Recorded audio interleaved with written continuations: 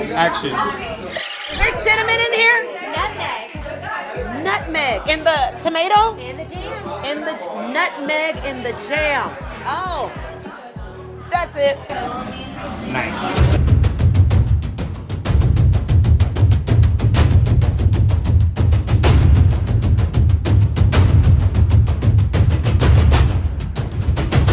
Okay, cut.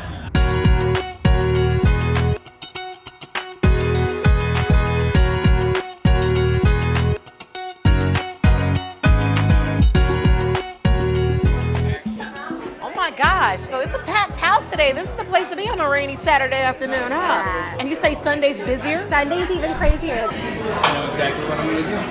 It's gonna be awesome. All right, that's a wrap for Ayana Mack.